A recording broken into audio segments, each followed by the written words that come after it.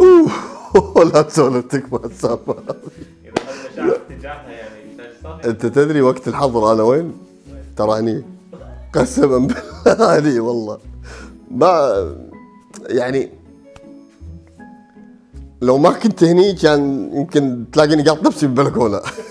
شوف لدرجه وين.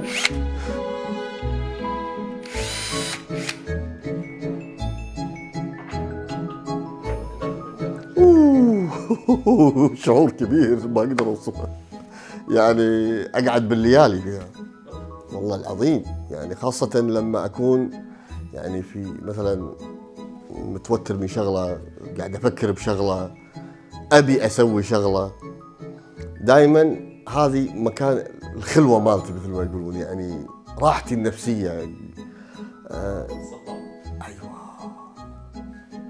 اسمع صوت المنشار هذا يدخلني جو اقوى من شو اسمه ف احس براحة نفسية فيها.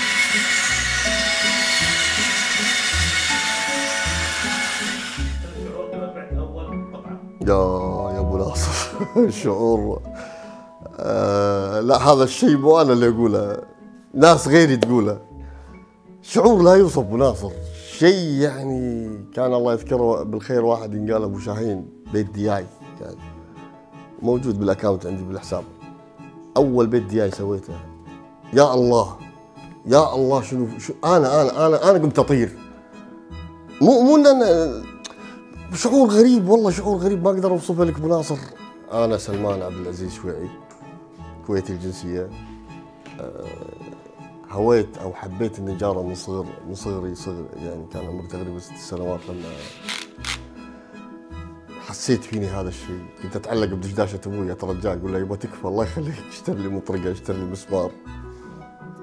بعدها صارت هواية صار حب شغف. بعدها وصلت إلى مرحلة الاحتراف. يعني بعد فترة من الزمن قعدت أتدرب على نفسي. أساسا كانت دراستي نجاره معهد تطبيقي. بعدها آه، اشتغلت شغلات وايد ما ما, ما لقيت نفسي فيها. بعدها لا موضوع الدريل يناديني البرغي البرغي يناديني. ف حسيت لا لازم لازم أتجه حق الشيء اللي أنا أحبه. وبعدين إذا بتكلم عن إعاقتي أنا بسنة 99 كان كنت مع أخوي بح- صار لي حادث. أي سعود الله يحفظه إن شاء الله. أنا نصي التحتاني كله تكسر بالحادث. من بعدها مثل ما تقول مات الحلم شوية. تقريبا قعدت 12 سنة ما مسكت حتى لا درنفيس ولا برغي ولا أدري عن شيء اسمه نجارة. سبحان الله ب 2012 يصير فيني حادث ثاني. تكسرت فيها إيدي أربع كسور مضاعفة كان إيدي كانت تطيح كذي بروحها كثر هذا. فنصحني الدكتور قال لي لازم تسوي علاج طبيعي. فسبحان الله من هني بدت القصة مرة ثانية يعني أو الحلم بدأ يتجدد. شلون؟ قلت له دكتور أنا ما أحب سوالف رياضة ما رياضة. قال لي أي شيء أنت تحبه يدوي. يعني تحب تمسك مفك تحب تمسك مش عارف إيش. قلت له زين أنا هوايتي نجارة. هل ينفع إن أنا أسوي هذا؟ قال إي بس لازم تكون حذر. يعني بداية الأمر لا تدش ببناشير وما أدري لا تدش بدريلات شغلات خفيفة كذي. بعدين لا إيدك حسيت إنها هي قمت تتمكن منها. ذيك الساعة آه، بلش. سبحان الله شوي شوي شوي شوي شوي شوي. إيدي اشتغلت. فقام الحلم شوية يكبر. شريت لي أول شيء ما كان عندي إمكانية إن أنا أسوي ورشة. فخذيت لي فان بال 2015 بداية 2015 خذيت لي فان صغير. كونت فيه العدة. هاي الفكرة أعطاني إياها واحد بالربع. الله يذكره بالخير. الواحد كان يعني مقتول فيه المواهب ومقتولة فيه روحه ومشاعره مكتومة. فسبحان الله لما أي أنا أسوي شغلة بكل شغف وكل حب وتلاقيني أطلعها من قلب القلب والاقي النظره نظرة الرضا بعيون الزبون هذه تسوى الدنيا وما فيها عندي. 98% من زبايني اللهم لك الحمد راضين. ليش؟ دائما ادور رضاهم. يعني ما أخليه يطلع بسهالة.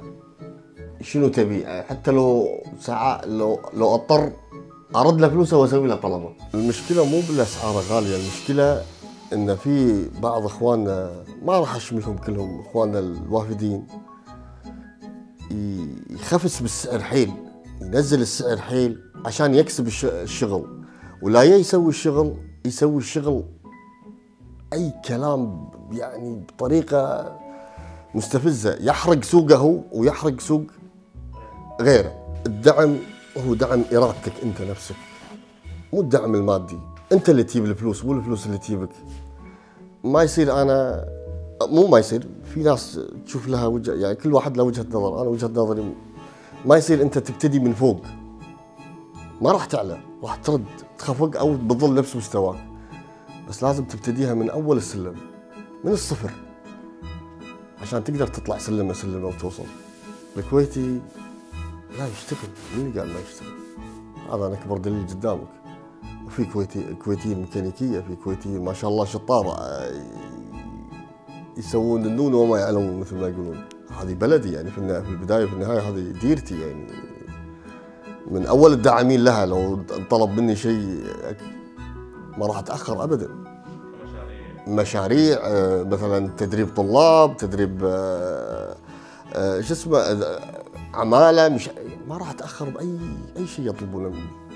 لا أنا بالعكس أنا أعتز بوظيفتي وأعتز بشغلتي. و... بالعكس تلاقي الناس هي تيجي تسألك تاخذ رأيك هل هذا السعر مناسب اللي قال لي إياه ولا لا؟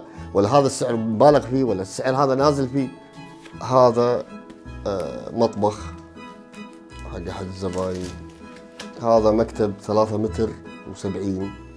الشغلة هذه أنا قاعد أشوف كأني قاعد أتعامل مع ربي ما قاعد أتعامل مع زبون. فلازم أطلعها أقصى جهد وأقصى طاقة أن تطلع مسطرة. تسلمها الزبون ولاقي راضي. هذه شعور والله يا أبو ناصر شيء لا يوصف.